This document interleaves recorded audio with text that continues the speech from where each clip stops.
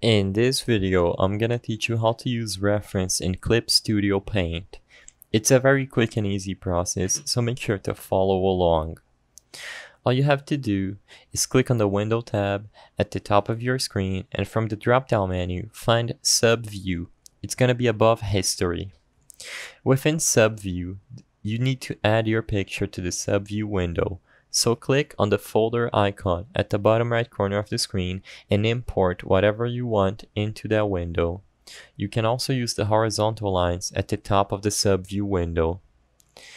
Import a photo by choosing the import option and after it is properly loaded, it will be alongside your current drawing. You can rotate it, zoom in, and do whatever you want, and you can even add more pictures if needed.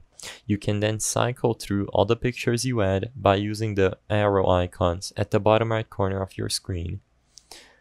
If you want to, set it as you like, rotate it and zoom in and the picture will stay there in the subview for you to use as reference.